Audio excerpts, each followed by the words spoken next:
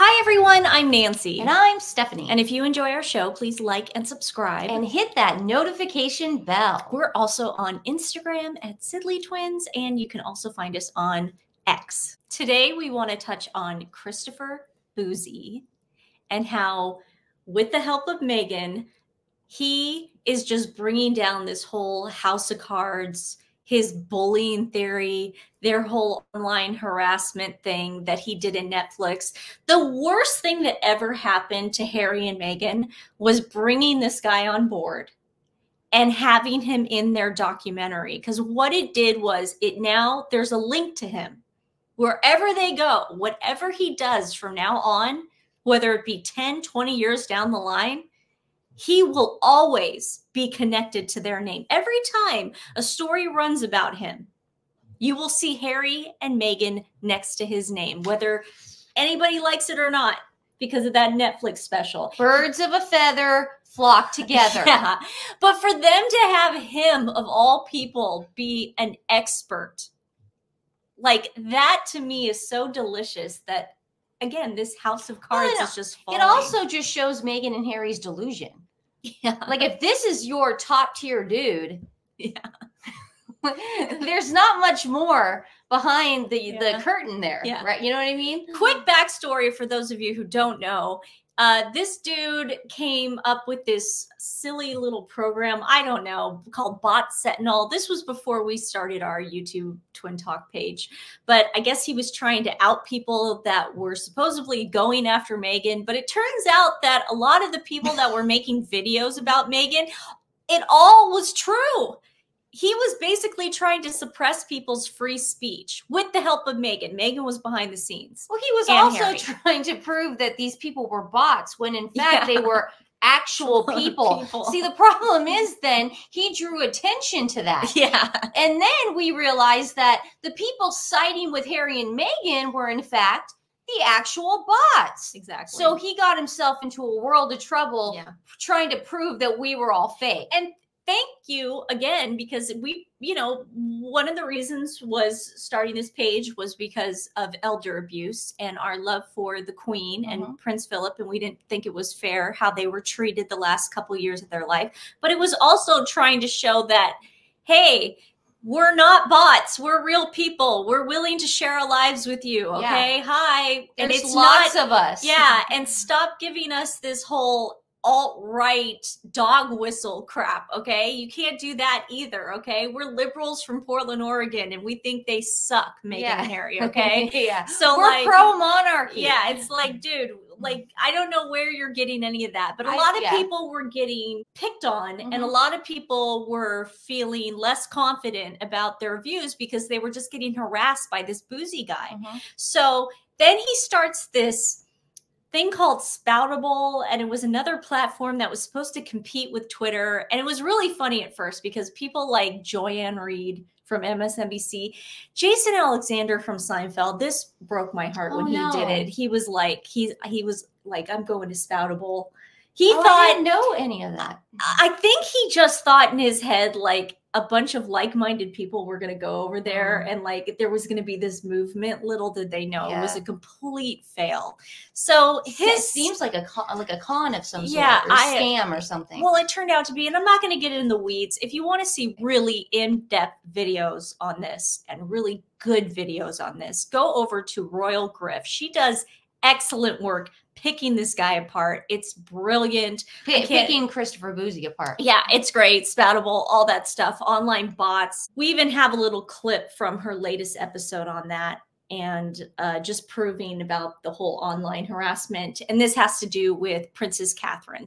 So Bouzy decided to go after Princess Catherine and get on this whole Where's Kate bandwagon. So whenever I see him sort of like pressing an issue, again, it makes me think, okay, well, then he must be following orders. Mhm. And whose orders is he following?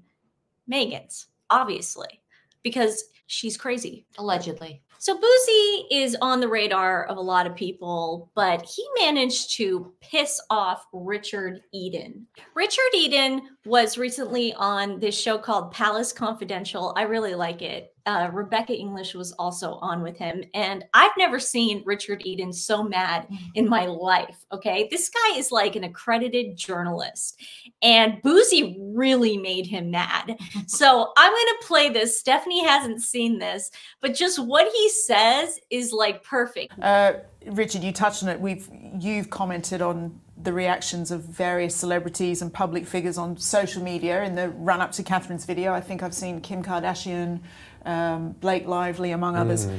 One person stands out a gentleman by the name of Christopher Bouzy. Why is that?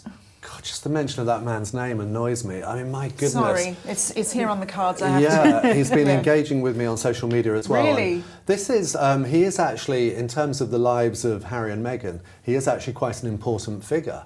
And I say that because you might remember the three part um, Dire Netflix series that we all had to watch. I do remember it. he featured heavily. Um, he's a tech boss, American tech boss. I think he became involved with Harry and Meghan because he was interested. He, I think he'd made some positive comment about them and then was really interested in the sort of negative response he received. And he started to analyse um, the response and he was um, convinced that there was a lot of sort of organised trolling of them. And as a result, he's become quite involved with Harry and Meghan, certainly a big, a big supporter.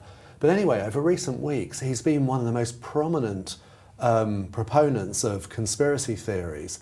You know, and even after Catherine's video, I mean, there she was, you know, filmed in the garden, it's filmed by this BBC crew, you know, and then he's still questioning and everything and then talking about how the images we'd seen of them visiting a farm shop couldn't have been correct because she looked much healthier in, in, the, in this video and all My this question sort of is stuff. uh, who's got time to spend worrying, to spend analysing that kind of stuff? Well, in a way, it's sort of his job because because he's this tech boss. He's got this firm that kind of analyzes all this stuff, and but he's been really pushing it. And he lots of the stuff he's said and in the past is unpleasant. You know, it's personal.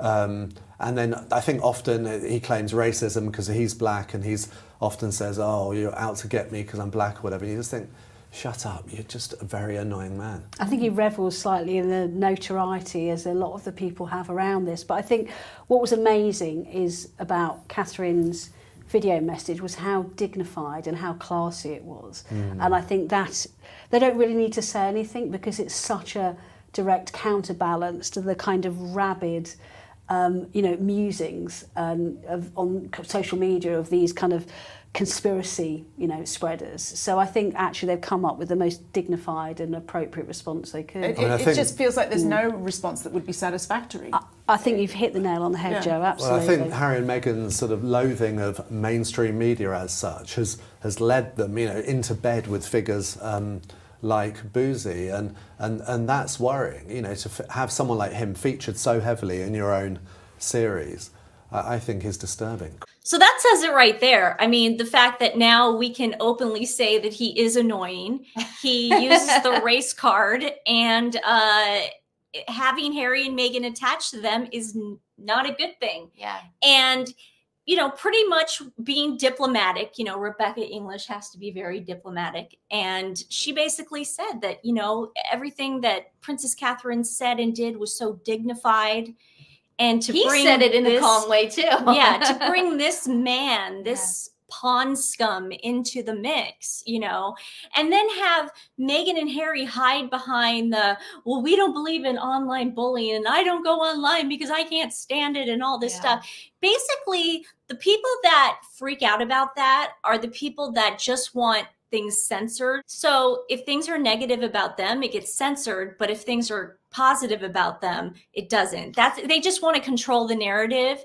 And I really do think Meghan got herself really deep with this guy.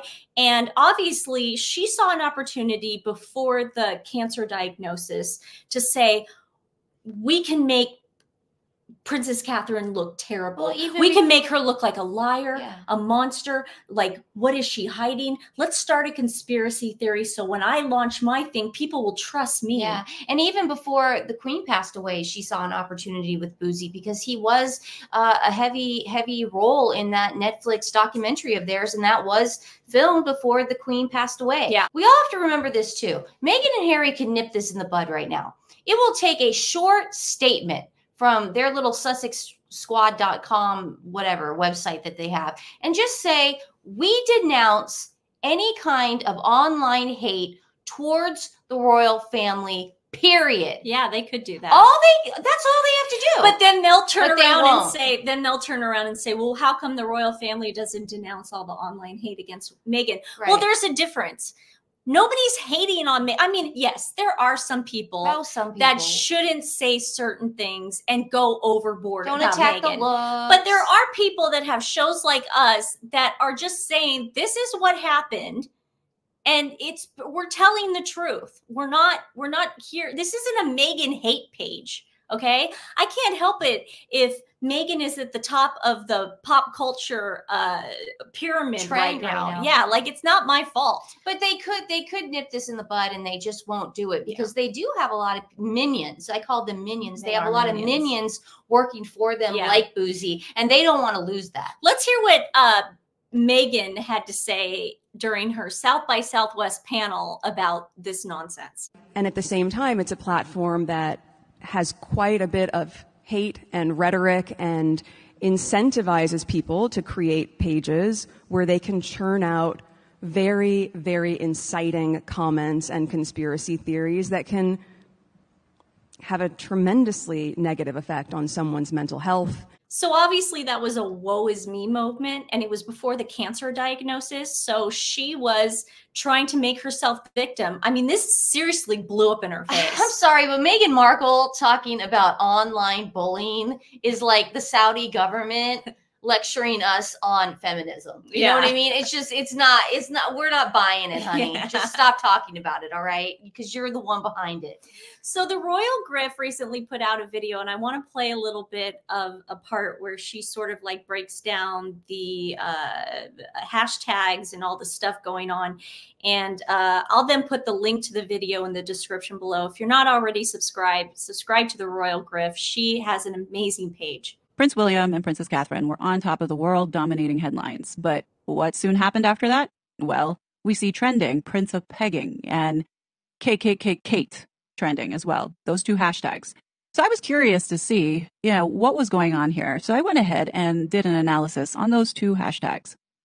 Keep in mind that the Worldwide Privacy Tour had been trending for a couple of days. And in order to knock that off the list, of course, the Sewer Rats put together a campaign in which campaign was predominantly getting Prince of Pegging and KK Kate hate trending. So as you can see here on the right, those are the hashtags that the Sussex squad had put together in order to push out. And as you can see from the bottom there, this report that was run was covering seven days. So it began on February 20th, and then it went till March 1st. And as you can see here, on the 21st, there was a massive, massive retweet going on on the 21st, and that would be for the Prince of Pegging.